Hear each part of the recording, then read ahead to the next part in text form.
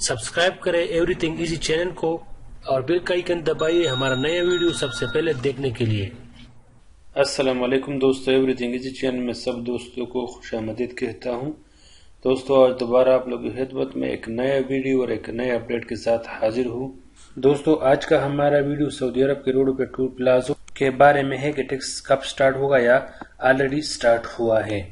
دوستو، کچھ دنوں سے ایک تصویر نکالا گیا ہے جو سوشل میڈیا میں بہت مشہور ہوا ہے۔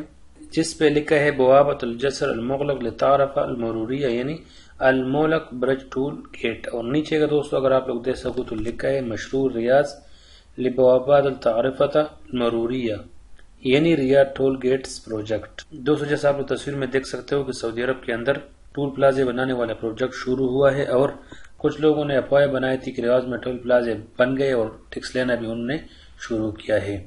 دوستو میں آپ لوگوں کو بتاتا چلو سعودی وزارت النقل ترکی التعیمی نے اس خبر کا تردید کر دیا اور اس نے بتایا کہ ایسا کوئی گیٹ ہم نے نہیں بنایا۔ یہ خبر سراسر غلط ہے، یہ رسمی خبر نہیں ہے کہ ریاض میں ٹول پلازوں نے کام شروع کیا اور اس نے ٹیکس لینا شروع کر دیا۔ دوستو، سعودی وزارت النقل کے ترجمان ترکی التعیمی نے بتایا کہ جتنے پرانے روڈ ہے اس پہ کسی قسم کا ٹول پلازا نہیں بنا رہا ہے۔ البتہ جو روڈ ہم نئے بنا رہے جو نئے پروجیکٹ میں ہے، اس پہ ہم ٹول پلازے بنا رہے ہیں، لیکن اس کا یہ مطلب نہیں ہے کہ ہم نے ٹیکس لینا شروع کر دیا۔ پرانے روڈ پہ کوئی ٹیکس نہیں ہے، لیکن جو نئے روڈ بن رہے اس پہ دو ہزار بیس کے بعد ٹول پلازے جو ہے، وہ کام شروع کر دے گا اور ٹیکس لینا شروع کر دے گا۔